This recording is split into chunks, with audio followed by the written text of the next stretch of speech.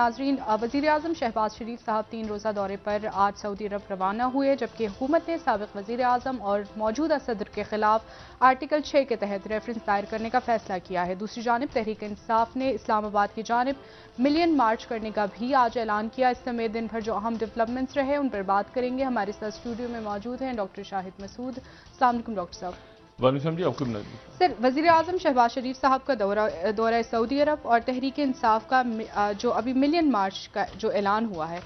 ईद के बाद सियासी मंजरनामा इन एक्टिविटीज़ को देखते हुए आप क्या समझते हैं कि क्या होगा? देखिए इस्लामाबाद से लेके लाहौर पंजाब पंजाब से लेके सिंध सिंध से लेके बलोचिस्तान पूरा मुल्क एक जमूद का शिकार है। मतलब ऐसे लगता है आपको कि एक स्टैंड स्टिल पे खड़ी है पूरी रियासत।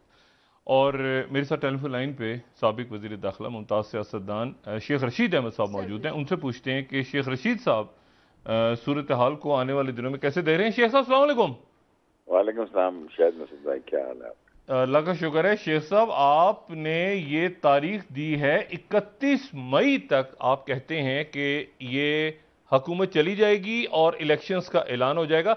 ये आपका तजिया है या आपकी इतला है? मैंने कहा इकतीस मई तक फैसला हो जाएगा। इससे ज़्यादा पीटीआई इंतज़ार नहीं करेगी। और अच्छा। देखें जहाँ हम खड़े हैं आज वहाँ ये खड़े थे। हम कह रहे हैं इलेक्शन कराओ ये पहले कह रहे थे इलेक्शन कराओ ये कह रहे थे हम नहीं कराओ। हम कह रहे थे ये हमें कह रहे थे कि ये सिलेक्टेड है हम इनको कहते हैं सिलेक्टेड है हमने दोहर लगा दिए डबल कर दिए इम्पोर्टेड भी कर दिए। हम्म। हम ये कहते थे जनाब अली के ये ये ये ये अब ये हमें अब इसका हल क्या है? लोग बीच में पड़े हुए हैं। अगर इकतीस मई तक हल नहीं निकला खाना खराबी होगी। शायद हम भी ना रहें और ये भी ना रहें। किस्सा पाक ही हो जाए। अच्छा और नहीं। एक टेक्निकल सूरत हाल एक टेक्नोक्रेट सूरत हाल पैदा हो जाए। क्योंकि इमरान खान काल की काल का ताकत का इनको अंदाज़ा नहीं है। लोग बीच में पड़े हुए हैं। इकतीस मई तक उम्मीद है। कि बड़ी ईद के दिनों तक इलेक्शन का फैसला हो जाए। नहीं देखें एक लाइन की लड़ाई है। हम कहते हैं इलेक्शन ये कहते हैं इलेक्शन नहीं। इसके अच्छा। लिए ये हमारे लोगों को पकड़ रहे हैं ये मीडिया को पकड़ेंगे। सऊदी अरब में भी आप कल देख लें लोगों को पकड़ा गया है। हम्म। दुबई में लोगों को पकड़ा गया पाकिस्तान में पकड़ा जाएगा। लड़ाई तो शुरू हो जाएगी। सो मैं आज क्या तारीख है? छब्बीस सत्ताईस में उनतीस से अगली उनतीस तीस तक लड़ाई का महीना देख रहा हूँ। और इसमें बेहतरी की उम्मीद भी पैदा हो सकती है और ये लड़ाई इतनी बढ़ सकती है कि किसी से संभाली भी नहीं जाए शेख साहब ये बताएँ आप जब कह रहे हैं कि बीच में लोग पड़े हुए हैं तो आपकी मुराद इस्टेब्लिशमेंट है? क्योंकि आप शायद मसूद साहब आप बच्चे नहीं है चालीस साल से मेरे आपसे तल्लक है पचास साल से मेरे तल्लक था पचास साल से मैं आपके साथ मीडिया पे तावन कर रहा हूँ। सो आपको पता ही है कि इस मुल्क में कौन मैटर करता है। ये लोग के जो सजा याफ्ता और जिनको कैदें हुई हुई हैं, वो वज़ीर बन जाए। जिस दिन सुबह फर्द जुर्म लगनी हो, उस दिन कहें, जनाब, मैं तो वज़ीर आज़म बन गया हूँ, फर्द जुर्म की तारीख आगे दे दें।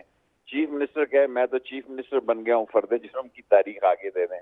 वजीरों को उम्र कैद हुई हुई है, वो कह रही हैं जी कि हमारी तारीख नहीं निकल सकती क्योंकि हम वज़ीर हो गए इस तरह नहीं मुल्क चलेगा। इस मुल्क में कुछ होने जा रहा है। जो कुछ भी होने जा रहा है, उसका फैसला एक महीने में हो जाएगा। ये मेरी एक सियासी तजिया भी है इंफॉर्मेशन भी है, और इस पर मैं कायम हूँ। अच्छा अगर फर, यानी अब चलें साहब, इस तरह लेते हैं कि हुकूमत जो है, यानी शहबाज शरीफ साहब ये कहें कि मैं असम्बलियाँ तोड़ रहा हूँ और अगले इलेक्शंस का ऐलान कर रहा हूँ। ये होगा, वरना दूसरी सूरत हाल में मामला खुदा न खास्ता बिगाड़ की तरफ़ और झगड़े की तरफ़ फसाद की तरफ़ जा सकते हैं। ये ये समझा जाए। खूनी झगड़ा हो सकते हैं। आगे शुरू हो चुके हैं लोगों के घरों में। अच्छा लोगों के घरों में और बड़े हसास घरों में लड़ाइयाँ शुरू हो चुकी अच्छा जो कि पाकिस्तान के लिए अच्छी बात नहीं है। अच्छा आपने कल ये भी कहा था कि कोई बड़ी बड़ा हादसा पेश आ सकता है कोई बड़े जिस बड़ी... दिन मैं छोड़ के आया हूँ उस दिन क्या क्या हूँ कि सतारा दहशत गर्द जिस दिन मैंने छोड़ी है कैबिनेट उस पूरी फुल मीटिंग में शुक्रिया भी अदा किया और नेक्टा की और दूसरी एजेंसियों की स्टेटमेंट छोड़ के आया हूँ कि सत्रह लोग दाखिल हो चुके हैं मुल्क में। मुख्तलिफ़ ऑर्गेनाइज देखें ना अब इस मुल्क में एक दहशत गर्द ऑर्गेनाइजेशन नहीं काम कर रही। सत्रह लोग मुल्क के अंदर दाखिल हो चुके हैं, कोई भी बड़ा खूनी हादसा हो सकता है, खुदा ना करे मेरे मुँह में खाक। जो मैं कहूँ, ये गलत। लेकिन जो फाइलों पे आया, वो मैं बता के आया हूँ और दस्खत करके आया अच्छा फ़र्ज़ करें, अगर शहबाज शरीफ साहब कहते हैं कि नहीं, डेढ़ साल की मुद्दत पूरी होगी या हम कम से कम एक साल निकालेंगे, फिर क्या होगा? सर, जो लोग बीच पड़े हुए हैं, एक महीना तो देना आधी से ज़्यादा अपोजिशन इलेक्शन खुद चाहती है। आधी से ज़्यादा अब तो पीपल्स पार्टी को फ़िक्र पड़ी हुई है। उनको पता है कि आईएमएफ के आने के बाद इनके हालात क्या होंगे और इंटरनेशनल पॉलिटिक्स चल रही है उसके हालात क्या होंगे? जो जो जो इल्ज़ाम हम पे था हम समझते थे हलकों में कैसे जाएँगे वही इल्ज़ाम इन पे आ गए हम हल्के में छाती चौड़ी करके जा रहे हैं ये चेहरा छुपा के जा रहे हैं। इतना फ़र्क पड़ गया है जी पंद्रह दिनों के अंदर। अच्छा शेख साहब मरियम नवाज़ साहबा की तकरीर आपने सुनी कल रात को जो उन्होंने कही? उन्होंने कहा कि कुछ अहम तकर्रियाँ चाहते हैं कि इमरान खान उनकी मर्ज़ी से हो। ये इस तरह की बात आपने सुनी? नहीं ऐसी कोई बात नहीं है। अच्छा। मैंने नहीं सुनी। अगर उनमें हिम्मत है तो अब तो उनके पास पासपोर्ट भी हैं आ जाए पाकिस्तान में। नहीं मरियम मरियम नवाज़ साहबा मरियम नवाज़ साहबा ने लाहौर में कहा। शायद शायद साहब मैं आपसे एक सवाल पूछता हूँ। हम्म। अगर इजाज़त हो कभी दुनिया की तारीख में मैं दो सवाल पूछता हूँ। एक दिन में चार कोटें टूटी हो कि एक आदमी के पासपोर्ट के लिए और पांचवी दफ़ा भी समझे कि बात नहीं बन रही और वापस लिया जाए। अगर आप नॉलेजेबल आदमी हैं, आप पढ़े लिखे दुनिया के एंकर हैं, आपकी स्टडी है, आप हिस्ट्री के स्टूडेंट हैं, मुझे दुनिया में कोई ऐसा वज़ीर आज़म देता है जिसको फर्द जुर्म की काल पड़ रही हो कि शबाज शरीफ, वल्द मोहम्मद शरीफ हाजिर हो, वो कह रहा है वो प्राइम मिनिस्टर बन गया है। अदालत में आवाज़ पड़े कि हमजा शरीफ, वल्द शबाज शरीफ हाजिर हो, वो कहते हैं चीफ मिनिस्टर बन गया है। फलाना मिनिस्टर हाजिर हो, वो कहते हैं जिसको उम्र कैद है, वो कह रहे हैं जनाब अली वो वज़ीर बन गया फिर इस मुल्क में तो कुछ ना कुछ होके रहेगा ना फिर ऐसे नहीं हो सकता। इस मुल्क में बहुत बहुत हसास वक्त गुजर रहा है और ये अगर मैं तीस कह रहा हूँ पाँच दस दिन का मार्जिन मुझे दे दें मैं इससे ज़्यादा आगे हालात नहीं होता ये आठ दस दिन पहले दे दें या बाद में दे दें?